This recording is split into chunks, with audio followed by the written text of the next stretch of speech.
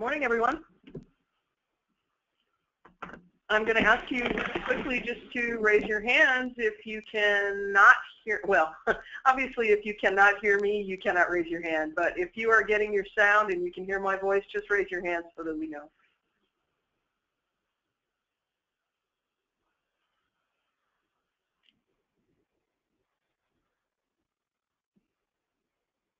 I don't see any attendees online.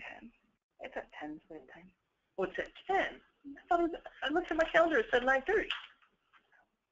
Huh. All right. Well, I got things I gotta do really quick. Okay. Be right back. Good. Well, you can uh, hang up the phone. I thought we were late. Oh, I got it.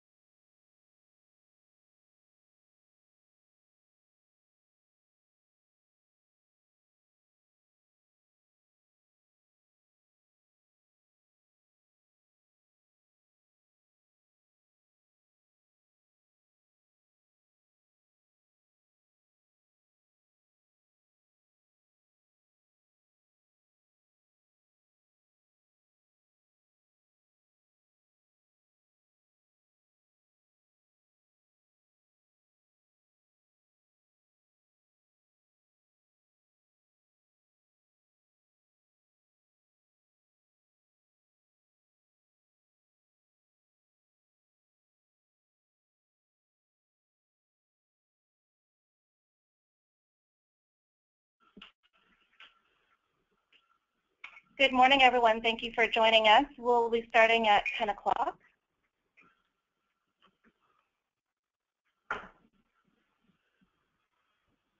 While we're waiting, uh, if you have good sound, good audio, and you can hear our voices, just use the raise your hand feature and let us know.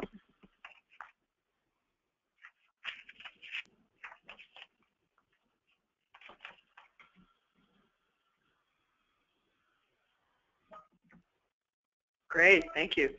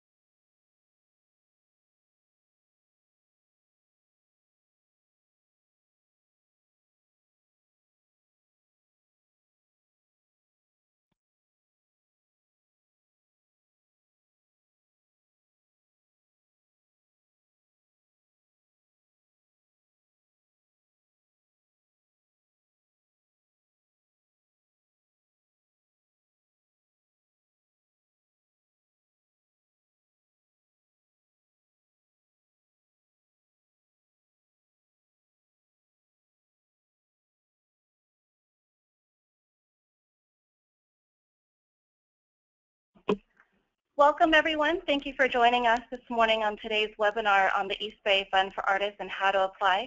I'm Nicole Kayak, and I'll be your point of contact this year for the East Bay Fund for Artists. Any questions you have, and administering the process as we go through the um, time period together.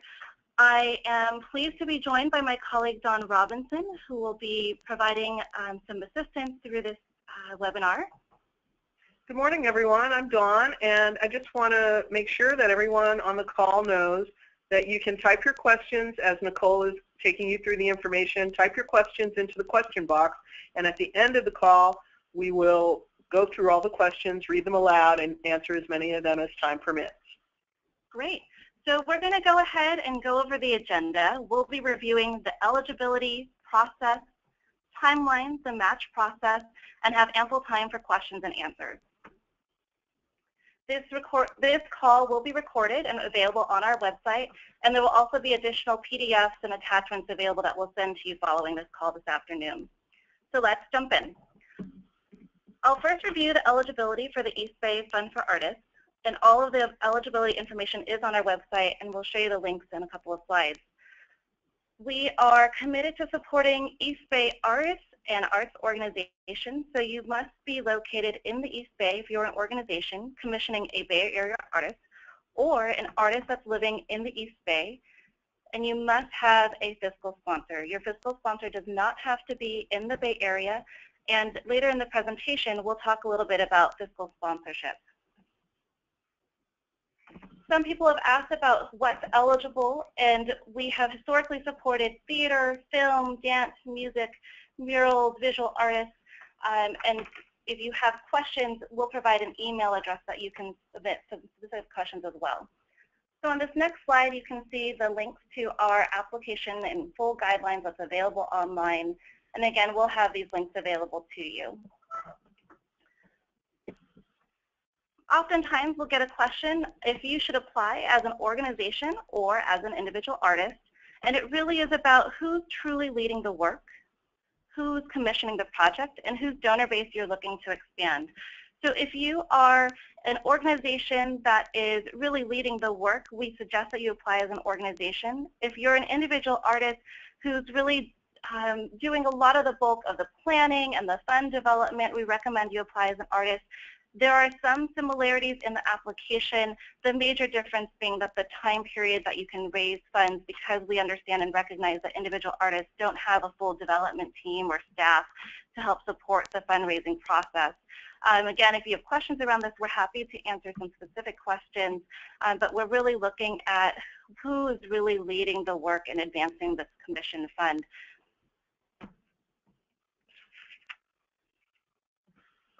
This next slide, if there's anything that you take away from this webinar today, really is the most important slide, and it's the question around what is the panel looking for?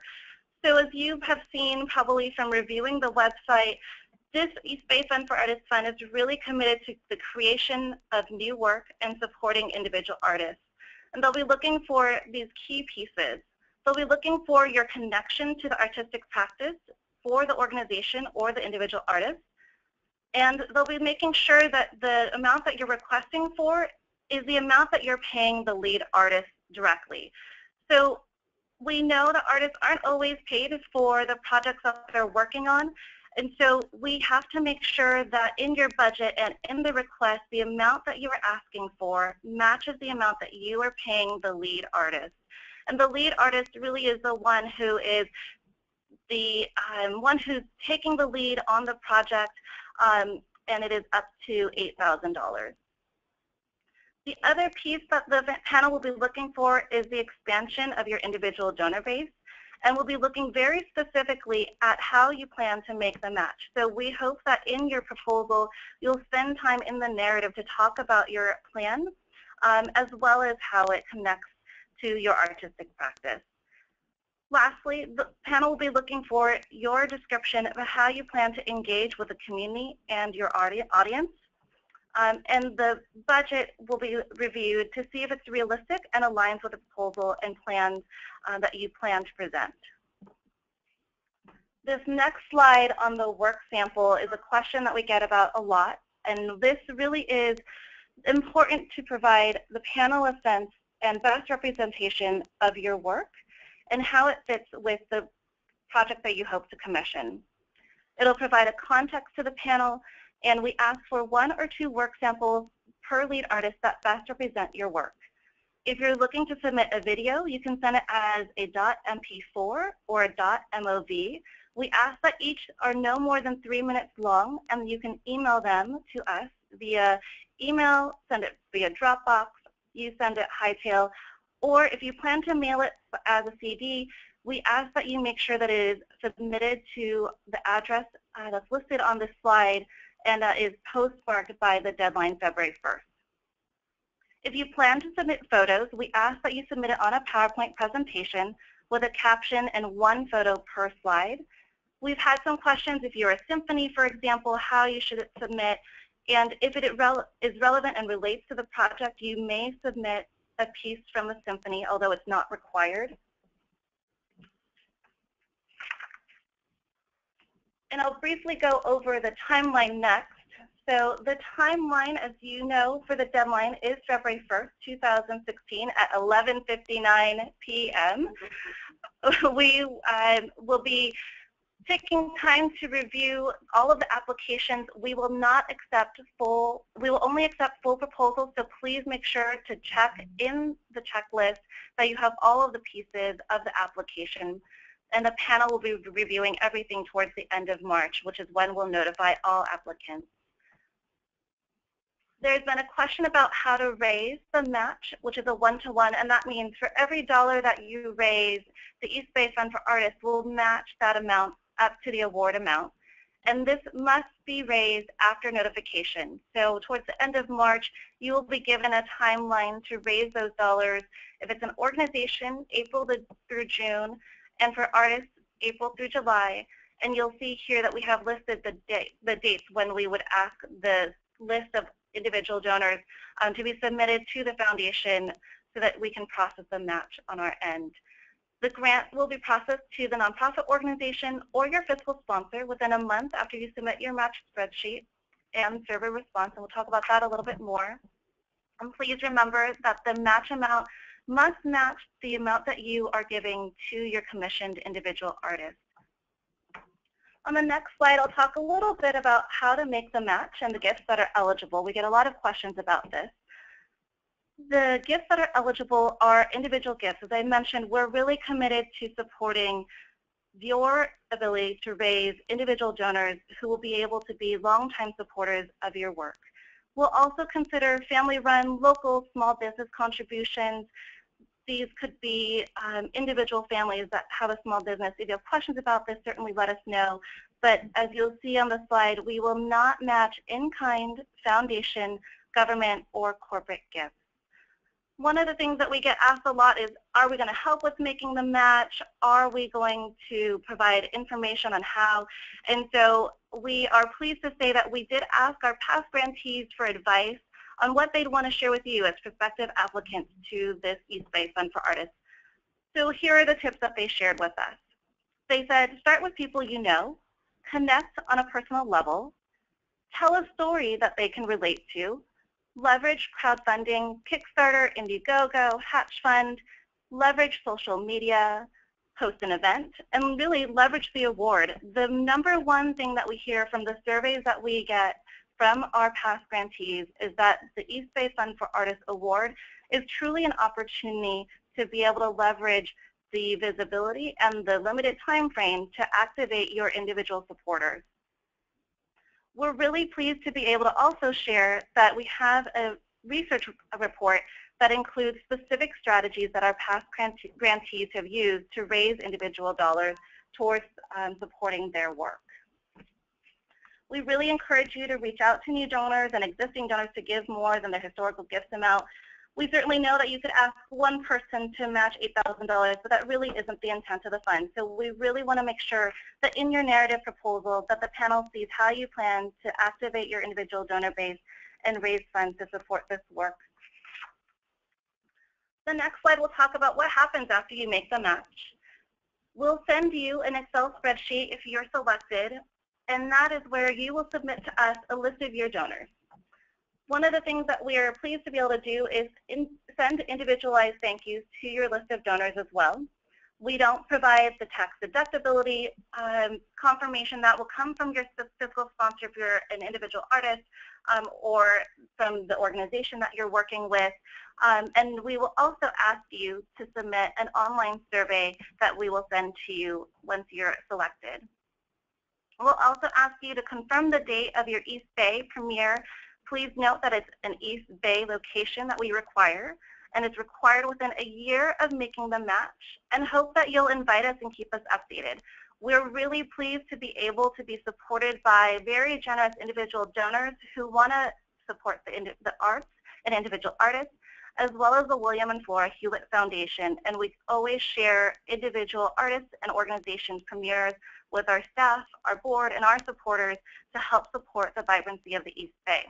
One other note about the list of your donors, we won't share the individual donor contact information. If we were to, we absolutely would let you know, but we do not share it beyond sending a thank you acknowledgement letter that comes directly from our offices. This last slide on fiscal sponsorship, because this question comes up oftentimes for individual artists and organizations that might not have their own 501c3 status, fiscal sponsorship is required although your fiscal sponsor does not have to be located in the East Bay. On this slide, you'll see that we have some recommendations of fiscal, fiscal sponsor organizations, including Fractured Atlas, Intersection for the Arts, Pro Arts, Dancers Group, Soma Arts, and many local nonprofits also provide sponsorship to a number of smaller projects. And so if you've worked with someone in the past, we certainly can recommend that you contact an organization to see if they might be a fiscal agent for you and a fiscal sponsor is the one that will provide the 501c3 tax deductibility for your individual donors, the tracking, and the financial record keeping for you. If you want a complete fiscal sponsorship list and have specific individualized questions, we have our email address on this last slide here, ebfa at eastbaycf.org, and that's ebfa at eastbaycf.org. Um, and my colleague Don has been dutifully checking our questions and will take some time now to answer your questions that you have for us. Great. Oh, nice job, Nicole. Let's look at some questions and see what we can see. All right. This to be bigger. There we go. Let's look at these in a in a bigger way and talk about them one by one.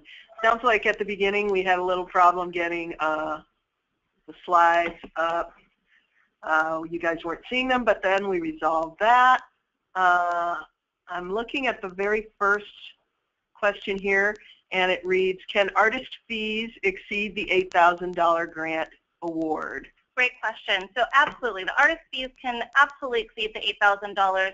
The $8,000 is just our maximum amount that we are able to match as part of the East Bay Fund for Artists Fund.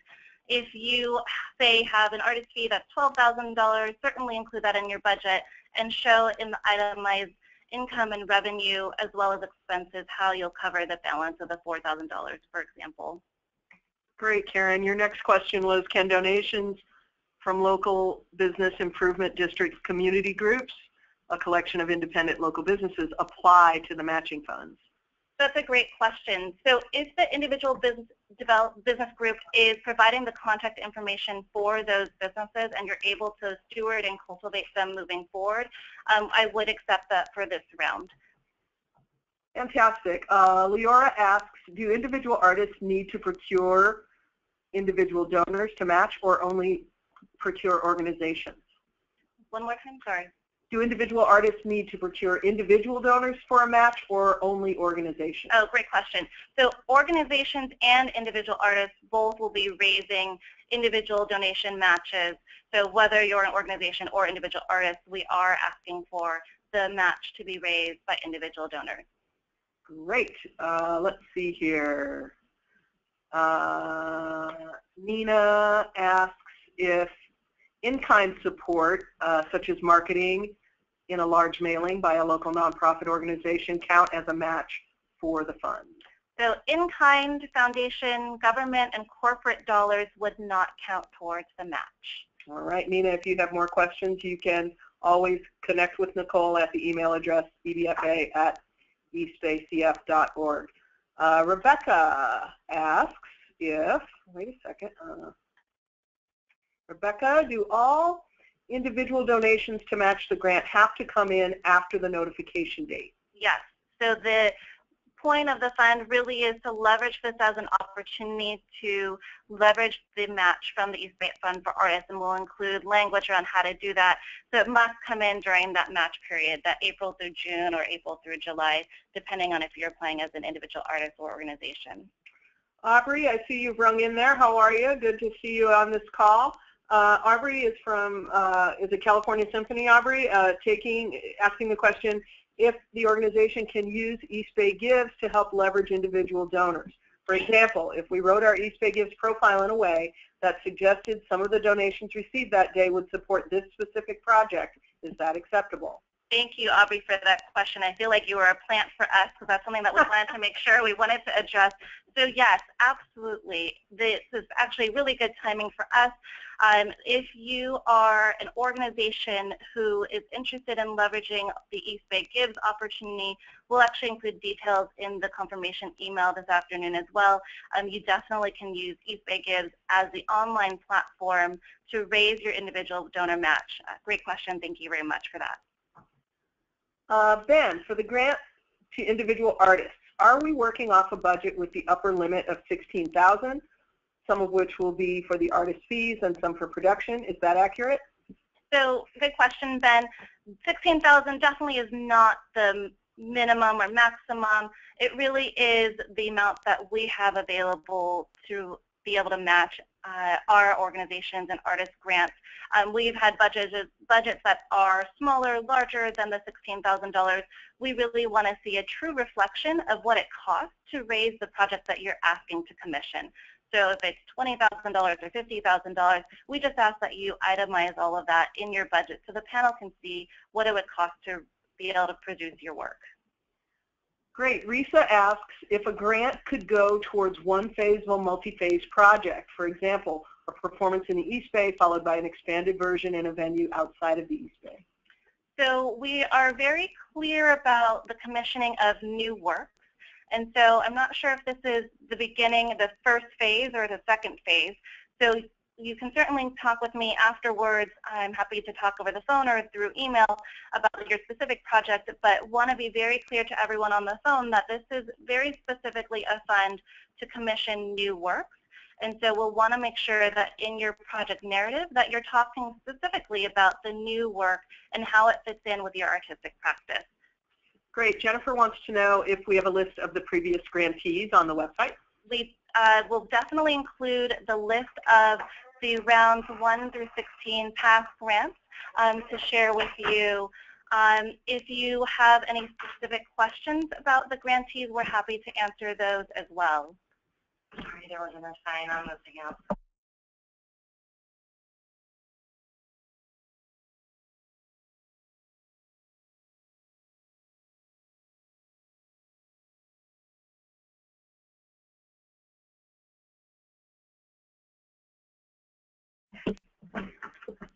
We've got we've got a live artist here with us right now. Isn't that great? Um, let me continue with these questions, and uh, let me see. Karen Lee wants to know um, if images in the PDF uh, in the PDF along with the PowerPoint. Do we want images? Uh, yes. So if you can send your images in a PowerPoint presentation separately, that would be greatly appreciated. What ends up happening is during the panel process, we run a PowerPoint presentation for our panelists, and it's easier for us to click through them. So I would suggest that you submit your PDF that includes the narrative and the budget, and then the separate PDF, excuse me, the separate PowerPoint presentation that would include the images. So one slide would have one image with a caption. Great. Okay. Uh, Risa wants to know, does it strengthen a proposal to have multiple performance venues, uh, for example, um, a theater and one or more public schools? Great question. So we, I think as a panel, haven't necessarily uh, prioritized multiple venues or single venue. They're really looking at how the venue fits in with your proposed um, piece of work. So the, the question around the audience and how you connect with them will be a way that you can talk about how the venue is a good fit for your project. Um, if you have multiple venues, that won't give you an advantage or disadvantage as long as it's located in the East Bay within one year of the match is the piece that they'll be looking for. Okay. Um, ben, I think you asked part of this question before, but you also wanted to know if uh, any of the funds can go to production. So the funds that you raise from the individual donors can go to any piece of the project. The $8,000 is the or the up to $8,000 is the only piece that we ask go directly to the individual artist. So when you're raising the match dollars from the individual donors or local small businesses, those can certainly go to other pieces of your project. Great. Andrea wants to know how many uh, individual indie artists apply each year and how many are funded. That's a great question. So um, it really varies year to year, so the statistics won't help you so much. I will say that in 2014, the decline rate was only 24%. In 2015, the decline rate was 72%. So you can see that because this is an open application process, it really depends on the number that actually apply. That will dictate the available um, amount that we can grant out. Um, and so I don't know that the statistics will be as helpful since it's an open application process, um, except to say that we encourage folks to submit your best application and that the panelists really have a really strong commitment to supporting a diverse array of projects that re really represent the East Bay um, and are really committed to supporting individual artists, small arts organizations who are looking to commission new work. Great. Uh, ben also wants to find out how much, what's the time frame, um, how much time is given to an organization to raise the match? Sure. So the time to raise the match is April through June as an organization. And we'll make sure you have the full slide deck after this call and webinar so that you can have the timeline. It's uh, listed out in one of the slides that might be helpful for you so you have that as a reference. Great. Uh, TC asks, uh, says, I'm a performance poet in the process of creating a one-woman show based on my transformational poetry. Does this fit the bill? Sure. Yes, absolutely. Uh, that would be eligible. John, uh, your question is, if I want to make a multimedia installation, is that cool? Very cool. All right. Uh, Rebecca, is there a preference for established artists over emerging artists? So there is no preference. It really is about how this fits into your artistic practice. I know I've said that a little bit before, but the panel will be really looking for the narrative, and if it's an individual artist, it'll be in your narrative. If you're an organization, it'll be in the artistic artist statement. They're really, really looking to see how this fits in with your work. So um, that statement is a really important piece and window for the panel to see how this fits in with your artistic and creative growth. Uh, this is cool. Lisa uh, has a comment. The Independent Arts and Media, Independent Arts and Media in San Francisco is currently accepting applications for fiscal sponsorship. Applications received by January 20th, which is uh, at the end of this long weekend, pretty much, would be reviewed in time uh, for the EBFA February grant deadline. So that's good thing. That's a good thing to know. Um, and if you have questions, you might want to reach out to Independent Arts and Media in San Francisco. Great. Thanks, Lisa. Thanks, Lisa. Uh, the next question is about the project period. Mhm. Uh, I think we may have just talked about this, Nina, but I want to make sure we covered your covered your uh, question in full. Um, is the date of the match considered June or July when we raise the matching funds, or in April when you extend EBCF's portion? So you can make the match between April and June if you're an organization. The spreadsheet will be due July 20th. And then for artists, the match period is April through July with the spreadsheet due August 19th. Now, we're not a government entity. If for some reason your last match comes July 1st, we can talk to you about that. We um, oftentimes get a question about what if I don't make the match.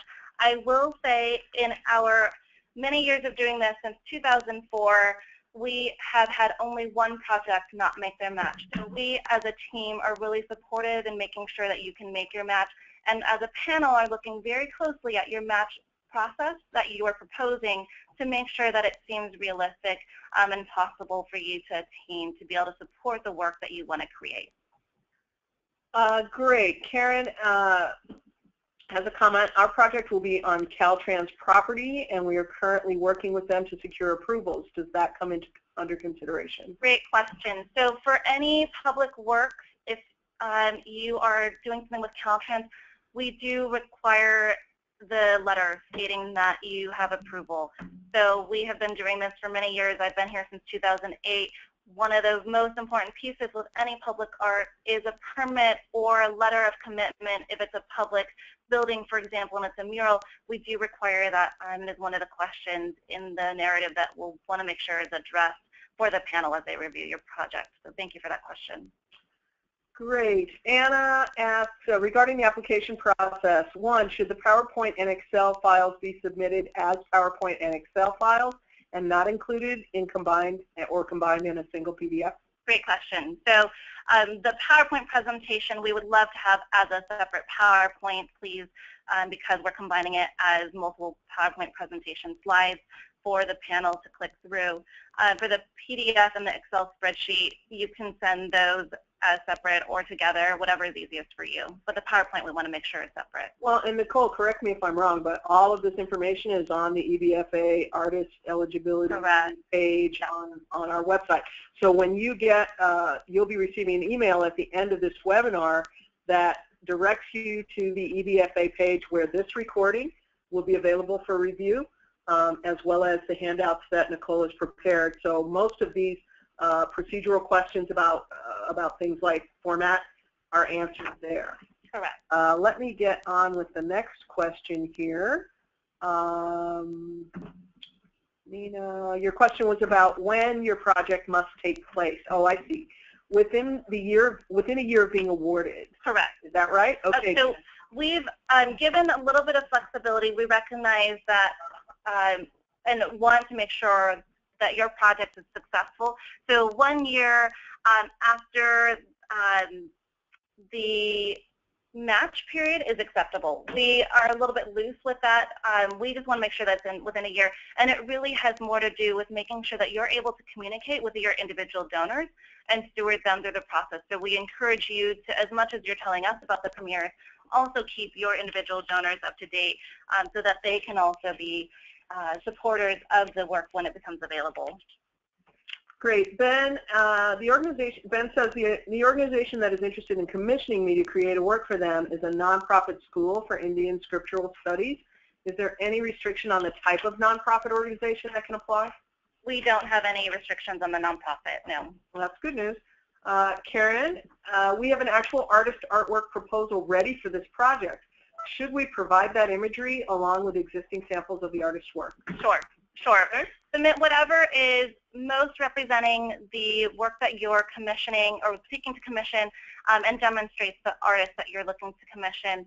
Um, we, I should say for the question before, um, we are pretty open in who is applying as far as organizations go, but note that the panel really is looking at supporting arts organizations or organizations that have a very specific arts component if it's an organization um, that's applying um, because of our limited funds.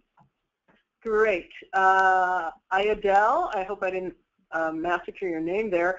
Um, what are the requirements of fiscal sponsors? Can you go over that again? Uh, Sure, sure. So the fiscal sponsors, um, especially those who have a fiscal sponsor program, will have their own kind of guidelines and information as far as what they'll provide you. The key pieces that we'll be looking forward for specifically um, is that they will be able to provide the financial back end for your work. Some fiscal sponsors have additional support for individual artists. It might include workshops on how to raise individual donor funds. It might include support with grant writing. Um, and so each fiscal sponsor and fiscal agent is slightly different, and we'll be happy to provide a list of that very specifically. But other than that, um, we don't have any specific requirements other that they are agreeing and have a letter showing that they're agreeing to act as your fiscal agent to receive the funds from your match as well as individual donors that individual donor, donor funds that you're raising.